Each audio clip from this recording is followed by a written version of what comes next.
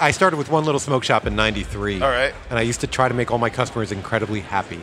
And one of the things that people they asked me for a particular brand of natural cigarettes, Mm-hmm. and the guy was telling me on and on about how natural they are. They're so natural. They're oh my god, oh my god. And I had a huge collection of rolling papers. Okay. And I, uh, so in my mind, when the guy was going off on me about how natural this cigarette was, I thought it was going to be wrapped in this beautiful, translucent brown natural paper Right. that I was envisioning, you know. And I brought it in for the guy. He, I sell him a pack. He gives me a cigarette back. I used to smoke back then. I pull it out, look at it, and it's just that typical bright white chalk cigarette paper. Mm-hmm. Yeah, I was like, bleached, bleached to out, the point of. and I was like, yeah. fuck, what the fuck is it? What, what's natural about Right. this bleach color? Like, Seriously. Right, there's so I- nothing natural about Nothing. bleach color. So I And I thought learned all this because of you, by Yeah, the yeah, way. yeah, everyone- nobody Go really understood this time. yeah, like somebody who's going to take their time. Yeah, this and, is the way I describe it. It's a paper that I want you to find, not one that find like, not one that finds you. Right. Meaning, like, I don't want it in the bodegas. I don't want it in the corner stores. It's because the people that buy this need to understand what they're buying. So I want to keep it very limited so that only the people that actually can appreciate it and understand what they're Will get using their hands on it. Because the wrong guy gets it, and he puts on block work in this stuff. It's not going to burn right, and he's going to think my paper sucks. And it's like, no, no, it wasn't designed for that. Right. It was designed for like his stuff Right. at the highest level. artisanal. Yeah, Right. Like, like boutique. It's delicious- boutique. really yeah, boutique. Yeah. It's, Yeah. it's uh, the highest Yeah. level we've gone yet with cigarette paper, and it's called ethereal. So that one will be coming out early 2024. We were, I was just in Spain. So I became a connoisseur that day. We smoked from 4 p.m. to 4 a.m. Holy crap! It You was like a crash course. It was like a Thursday Trial by fire. Thanksgiving dinner of weed, and it was just bowls without names on them. And Damn. We had like he had set up nameplates for us. It was so well organized. I tri- oh. tripped out that you could do this in, in, in such a professional manner. Yeah. And that it's not about getting high because it was just like we were taking hits and tasting and feeling that moment of what it feels like. Yeah, and you're then- really taking it Yeah, in. and Yeah. you're not just trying to get stoned. You know, you're Right. trying to take You're- like wine, like a yeah, wine. yeah, yeah, yeah. It's like let it hit the palate.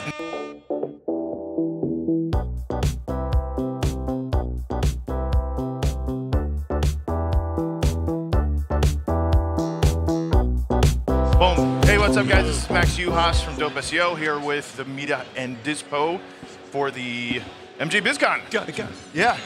Yeah. Oh, there it goes. Or, now the Now camera, we're in. I'm, Now I'm not even sure. It's like the thing starts and whatever. Um, I'm here with. Martez Davis, account executive at Dispo. All right, here we go. And these guys need absolutely zero introduction, but I'm going to let them introduce themselves. themselves, themselves. Um, I'm fucking fanboying right now, but here you go. Sure, Here I'm we go. Josh from Raw Rolling Papers. Nice to meet you. I'm Shavo from uh, 22 Red and uh, System of a Down. There you man, go. You fucking rock. There you go. you. You fucking do This dude rock. fucking Yeah, rock. good You to be here. Thanks for having This is- us. That guy's fucking. This This, is- guy. Yeah, I mean, like, it's just, they were like, Travel's gonna, I was like, what? They're like, they were- I was like, yeah, I think I'll do this. I'll do this one. Um, Hell yeah. So let's let's just let's just roll with this because I know you said we got it, we got a hard stop. Um, how did you guys get into cannabis? Like, You want to start or should I start? You start. I'm right. really curious. Years ago, uh, when the band started, I started smoking. Okay. And I, I, I- wasn't smoking as a kid, you know. I started at like 20, you know, right. 21 years old. Oh, Oh. sit back. My bad. guy was calling up on us. Anyways, so I started around 2021. I just smoked casually, and um, as we started touring, I'm, I uh, found myself in Amsterdam, and I met Arjan Strain Hunter uh, by chance. Right. And he invited me to the the harvest tasting of that year, which was I think 2000, and that's when I got my first menu, and I got to like, cause in LA, you know, you, you go Yeah, to the corner yeah, of Hoover and Pico and buy weed, you know. yeah. Back This is what you got. Yeah. You got what you got. But but this place had menus and hash and everything I you know. So during the harvest tasting, I got to taste all the wonderful strains he cultivated and actually hunted, and so. I became a connoisseur that day. We smoked from 4 p.m. to 4 a.m. Holy crap, It you was got a like crash course. It was like a Thursday Trial by fire. Thanksgiving dinner of weed, and it was just bowls without names on them. And Damn. We had like he had set up little nameplates for us. It was so well organized, and I tri- oh. tripped out that you could do this in, in, in such a professional manner. Yeah. And that it's not about getting high because it was just like we were taking hits and tasting and feeling that moment of what it feels like. Yeah, and you're really taking it yeah, in. and Yeah. you're not just trying to get stoned. You know, you're Right. trying to take You're- like wine, like a yeah, wine. yeah, yeah. It's like let it hit the palate. And, and so and- that yeah it became a thing. Yeah. And I just came home and I was bland at that point. I was like, Mm. "Nah, we have one type or two types, and anyways, years passed and I became legal. And I still didn't want to join the business because I, I'm a connoisseur. Right. I, I don't want to have Right. mixed business and pleasure at that moment, you know. But I've, I've met, met some people that actually grew really well, and I knew I could put my name on something. I'm, I'm not a grower personally, but I'm a great curator Yep. of things. So can taste it uh, really and. I have a taste, you know. Yeah. I have a certain taste, and so I decided to go with my taste and start a company. It's a lifestyle brand, 22 Red. Started five years ago. Uh, we dropped in three dispensaries. Dope. Now we're in three states. Yep. Five years later, That's what's slow up. and steady grow. No crazy investment monies. Just kind of doing my thing. I meet people like Josh, amazing people like you guys, and Appreciate it. You know, whoever supports me supports me. Whoever doesn't doesn't. It is Appreciate what it. it is. I'm Yeah, not, You know. I'm in it for the long run, not Yep. for the quick Yep. Yeah. meal. You know. No, I, I, I love the way you do it, man. You know, like you do it. You do it from the heart. You do it for real. Thank you, brother. You're not And- doing that trying to. I'm going to cash out. You No, know, you're no, very clear I'm that you not actually cashing love out. what you do. Yeah. Yeah, no, I you're ready- enjoy it. yeah. I enjoy the genetics part of it because of, I think that experience. It was kind of like a positive trauma. You know what I'm saying? Where Yeah, It, yeah. It, it sa- sank in and it stayed with me. Um, where I really love the creation of genetics, which leads to me being here this week. Uh, we've been hunting for about a year and a half with our team in Las Vegas. Okay. And we have nine new proprietary strains. What? Yeah, so we grew the first three. It, it's like the third run, of course. We're, we're testing them. Yeah. And I feel like it's at a level where we could now be in stores. So we picked, we handpicked six different stores to be in to test run these new strains. I can't wait for you guys to taste them. Fantastic. Are you Yeah. doing small batches then, or Small batches. Only Nice. I I realize small batches is the way to go to Right. do what I'm doing, what I want to do. Not I'm Right. not trying Right, to, you know, yeah, all, yeah. our Yeah. grow is small, boutique where you can control. It's, it's a controlled environment. Mm-hmm. I think those buds become more nurtured and you feel it in the high and the taste and the nose. Yeah. It, it's it's the love and the energy put into it. Yes. You know what I mean? And, and you feel that coming out of it. You know, versus like let's just grow to grow to grow to grow. We're not Yeah. doing that. No, no, no, Yeah. no, no. And then I meet amazing people like Josh, Yeah. who, who I met as being in the game, but then we had some shows and uh, I was in his hometown.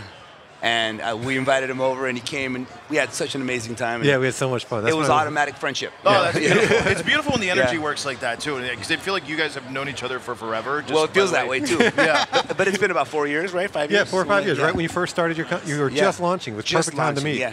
Yeah. That's what's up. And, so, Josh, please, for those for those for everybody else that doesn't know, tell us about Raw. Like, how did how did what's the, what's the story behind Raw? It's a long story. Okay. But I started with one little smoke shop in 93. All right. And I used to try to make all my customers incredibly happy.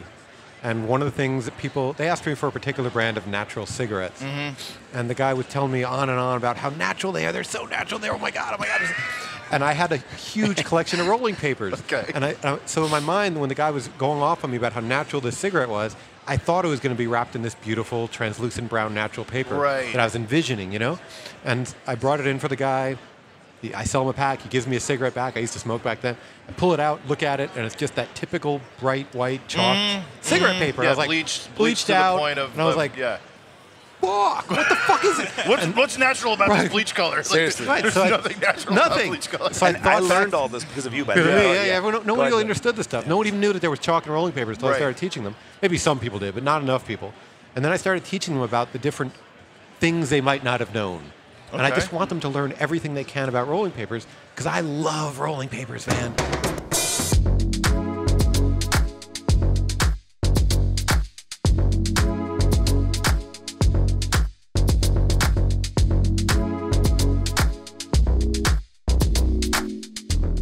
So sharing knowledge for me is a pleasure. It's a joy. It's an honor because I've, I get to. The more people I teach it to, more people I'm kind of bringing into my own little world, my own little Educating, life. yeah. Before nobody cared, Right. And now suddenly so many people care. It's amazing, and I love it. It's great. So yeah, Raw was is just a product of my heart. It's something I realized had never been made before, and I wanted to make it. Dude, that's beautiful. And there's, it's so difficult to innovate something like a paper. Oh, yeah, It, it really is. Yeah. So when I realized that no one had done that before, that was in '93 was when I had the idea to make it. It wasn't until 2005 that I was able to really fully launch it. And in the end, it's still just me and the family. We don't have like big investors or any of that That's kind of great. stuff either. That's that's even that's even more. That's beautiful. what makes it authentic. Bro. Yeah, and I absolutely. could see and feel the authentic vibes from him and in his work and how he experiments. You know, that's Yeah, you know he that's a lot of experiments with things, bro. And that's like most people don't do that. They buy something that It's good already enough, exists, yeah, and yeah. slap their name on it. Exactly. This dude Yeah.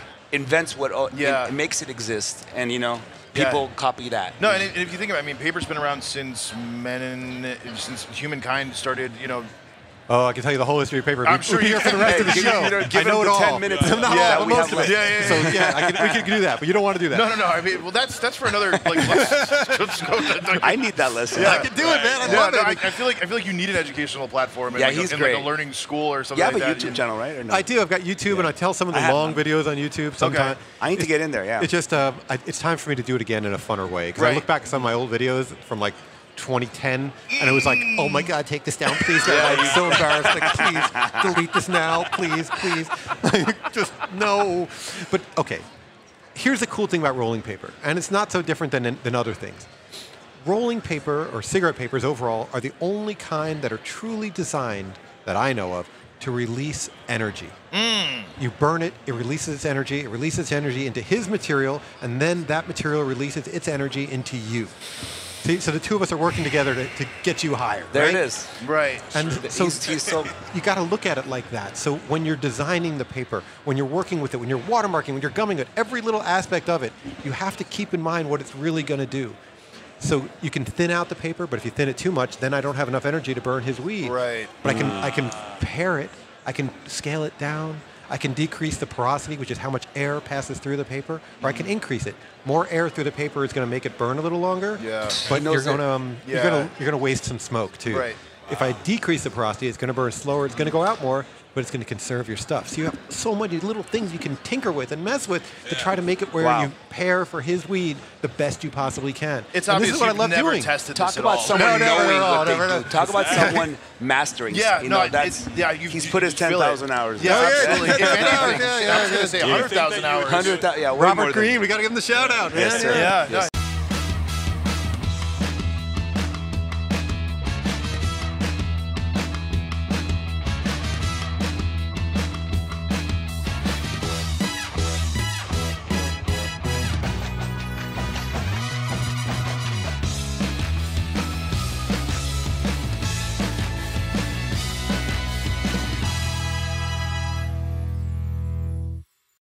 Yes. no, Yeah. He's a Do you good think you'd be doing like YouTube videos again, or would you have like a different way? No, I'll, like I'll to do it again. I just want to do them in a, in a more fun way. Mm. I got you. The, the one I did from 2010, you could tell I was in pain. 'cause I wasn't used to talking on the yeah, screen. You know? it- it's weird. It's weird doing YouTube videos because you're like, I'm just talking, and you, there's no feedback, and there's no way to really edit. Or you're like, you know, it's not like a I still setup like this where you it. have this whole thing. I still feel weird with it. I, Yeah. j- Just talking to no one is kind of weird. That's why I always like having someone there. If I'm ever going to do it, I have either someone sitting next to me Right. or someone in front of me. to bounce off of, keep the energy going. Because otherwise, yeah. I'm just rambling, and we're just And I don't know talking, where to you look. I'm starting, I'm starting looking around, not Yeah. the camera, right? You know. Yeah, it's, I, I, I like bullet points. Bullet point one, bullet point two. Bullet Yeah, yeah. but even then, it's like now this feels too just like academic, you know, and like less like free flowing.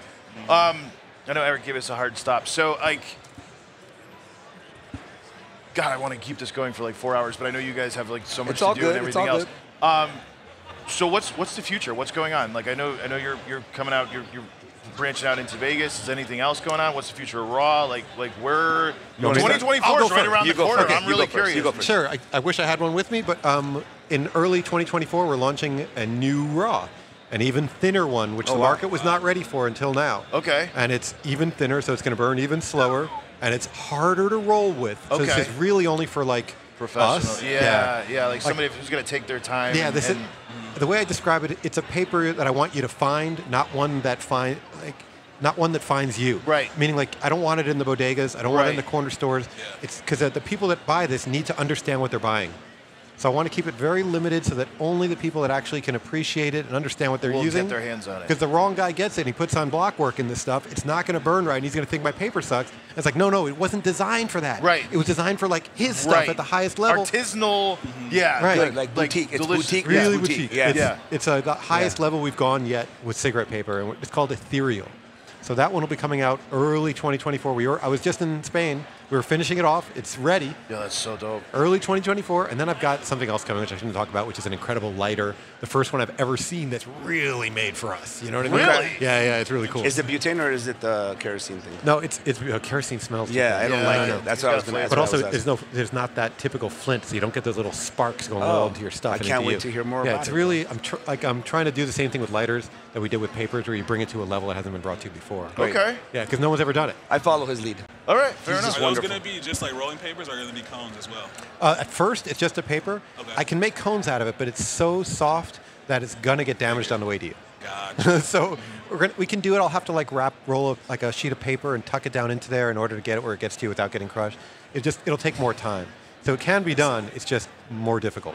ah, gotcha, gotcha. It's very I'll find a way. It took us a long time to make the raw black cones because again we, we were getting crushed. And finally we figured out a really simple solution.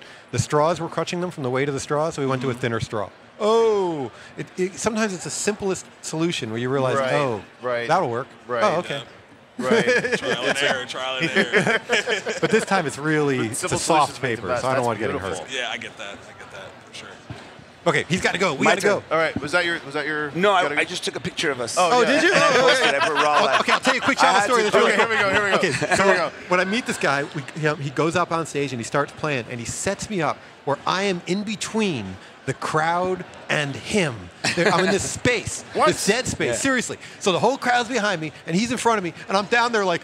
Holy shit! And he's up on the fucking, he's on the speaker. He is fucking just jamming right at me. He is going I right at me. focused on him more than the crowd that Right day. there. Dude. I'm sitting there taking it But I like, guarantee you, the waves that you were throwing at It was him great. were just felt flowing it. right I am past still everybody else. living off that I- I energy, can man. feel it. Like, I was oh, like, oh my god, this is It was dope. It was dope. Dude, Dude, the it was videos awesome. he had were It pretty cool awesome. from there. The, like What? the videos he caught, you know, were pretty cool. Oh. I, I love the ones you had. Better than any drug. I believe it. It was Yeah. I believe incredible. it. It's, it you're, was you're incredible. still feeling the effects. Oh, of it. yeah, Yeah. Oh my god, that was. I say being on stage is better than any Whew, drug that I've tapped ever your done soul. in my Yes. Yeah. or anything I've ever done. But that was a peak moment to have yeah. him giving you all of that energy, Fuck all yeah. of it at you, Oh. with the crowd behind you, man. It was dope. It was dope. It was dope. So we'll segue into system. Uh, Okay. We have we're doing our festival Sick New World here in Vegas. Nice. Uh, April 27th, 2024. nice. Uh, I think it's already sold out, but of course we can Oh, work, yeah, work hell yeah. something out.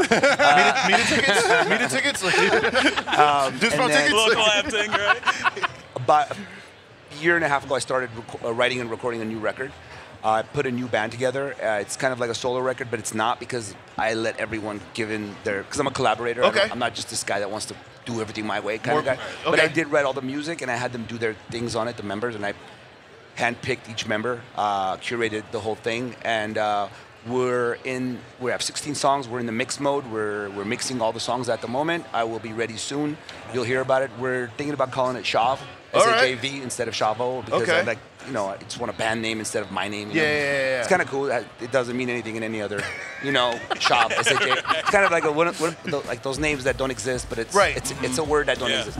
Um, 22 Red, three states, uh, relaunching in Vegas in three weeks. nice. Um, Arizona, we're killing it, and you guys help us with that a lot. Yep. Mita Yeah. has been really supportive of 22 Reddit all through Arizona. Right on. We're at all their events. Uh, I actually went and met you guys once. Um, it was a Thursday night you guys had at some hotel, and it was wonderful. Yup. I felt We'll really, come through again. really at Yeah, we're- home. we're yeah. gonna keep it going. I- yeah. it- yeah. I felt really at home there, and I, you know, I said I'm gonna support them, whatever I can do anytime Yeah, I can. man. I'm gonna, I'm gonna do it because you know It's a beautiful thing. that's what it works. I Yeah. I actually So- work with you guys in Arizona too. You do? Disco does your guys' packaging. in Amazing. See, Yeah, That's awesome. Good people Yeah. around us all the time. So, Yeah. man, I thank you guys. And know we have new products coming out in Arizona. We have uh, concentrate rolls, rolls dipped in concentrates, which we had to really do a deep dive into. Yeah.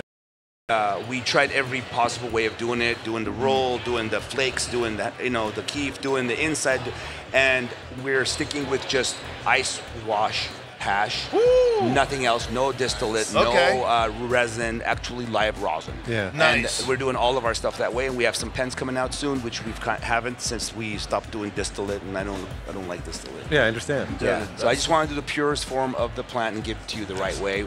What I would do, I want to give love. to you. Yeah. Made, Made- with love. made with- made with love, So you know, like- that'll start in Arizona, bleed into Nevada and California soon with a relaunch with our own proprietary strains coming soon. Fantastic. Yeah, hell yeah! Thank you for having us, fellas. Yo, Yeah, thank you yeah, guys man. so much for, for Yeah, coming on this. hell This, yeah. is- this was you. a this was a a massive pleasure. treat. Right on, man. Sorry, yeah, absolutely. Uh, my man. Yeah, so Gotta show you heard it, you heard it here at Mita and Let's Shackle. There he is. There he is. We're fucking landing, rock. we're That was so landing. fun. You missed- Yeah, yeah, we- We'll, we'll be your little. Let me do another one for us here.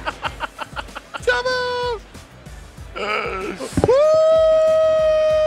All right. I love it.